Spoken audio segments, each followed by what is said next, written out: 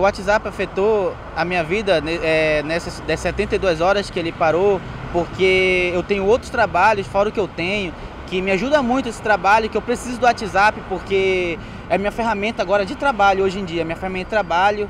E eu tô. E como agora ele, ele deu essa parada de 72 horas, eu não sei como eu vou fazer para poder agilizar esse meu trabalho. Eu estou trabalhando com pedidos de alimentos, esses alimentos são feitos através do WhatsApp, os pedidos dos clientes, mandam para mim o cardápio através do WhatsApp, entendeu?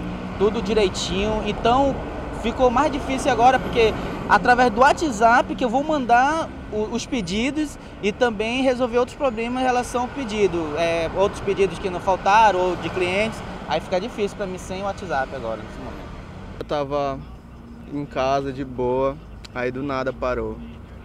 Aí eu vim, na fé tinha marcado com o irmão, né, de correr, não sabia que ele ia aparecer e, e na fé, tipo, se eu não tivesse parado, eu estaria em casa. Eu trabalho com isso, eu, eu fecho meus, meus trabalhos por lá, então o WhatsApp não está funcionando, é um problema gravíssimo para mim.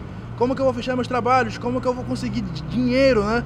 Tô aqui nada e nem, nem, nem ninguém fala o porquê saiu do ar o, o porquê tá assim. A gente merece uma explicação, pelo, pelo menos.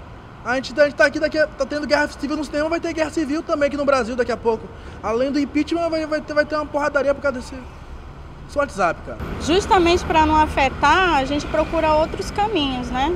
Fui atrás de outro aplicativo, como, como tem exames de filho, é, comunicação com amigos, com parentes, então a gente já procura outro mecanismo para se comunicar.